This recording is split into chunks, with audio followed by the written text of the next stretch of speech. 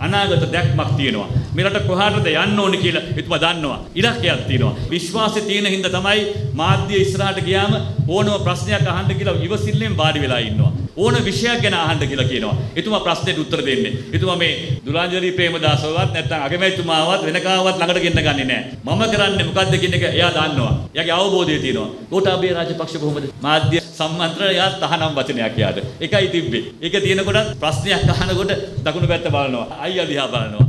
වම් පැත්ත බලනවා අනිත් පැත්තේ GLPස් මහත්තයා දිහා බලනවා. මේ රට කොහාටද ගෙනියන්න ඕන කියලා දන්නේ නැහැ. අපි අද රටක් හැටියට අපි එකට ඉස්සරහට යනවද? ඒ හරහා ගිහිලා මේ රටේ සියලු ජන කොටස් වලට ජීවත් වෙන්න පුළුවන්. ඒ වගේ රටක් අපි ගොඩනගනවද? අපිට සංවිධාවේ සාමයෙන් සමගියෙන් ඉන්න පුළුවන් රටකට අපි යනවද? එහෙම නැත්නම් මේ රට ආපසු හරවන්න අපි රාජපක්ෂලට ඉඩ දෙනවද? පහුගිය කාල වකවානුව තුළ අපි දැක්කා.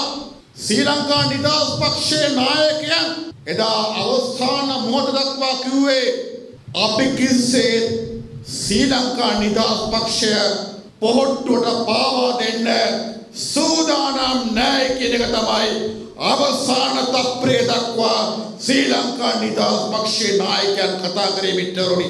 පාක්ෂිකයන් අනාථ කරලා පක්ෂයේ සංවිධායකවරු ඒගොල්ල හිතාගත්තා. ඊළඟ මැතිවරණයේදී අනිවාර්යෙන්ම ගෝතාට දිනන්න පුළුවන්.